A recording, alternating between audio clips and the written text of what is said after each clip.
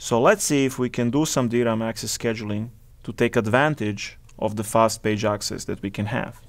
Let's assume we have a DRAM memory that has 32 1-bit arrays, just like the one we have seen before. Each array is 1 megabit, and it's organized as 2 to the 10th rows times 2 to the 10th bits per row. Each array is a 16 megabit array organized as 2 to the 12th rows, which is 4096 rows, times 2 to the 12th bits per row.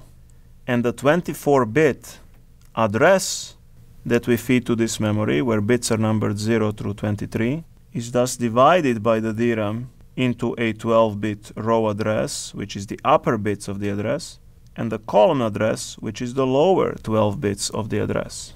Of course, the processor, when it issues this 24-bit physical address, wants to access a 32-bit memory location. Each chip is fed this address, and the 32 chips together represent a 32-bit memory. So one chip, for example, might hold bit number 7 from all the words in the 16 mega word memory. Let's say we have cache misses currently pending for the following addresses. Let's assume that it takes 10 nanoseconds to open a page, that it takes 2 nanoseconds to read something from the row buffer once the page is open, and 5 nanoseconds to close a page. These operations, how long do they take if we do them in this particular order, and how long do they take if we're allowed to reorder them so that the time gets reduced.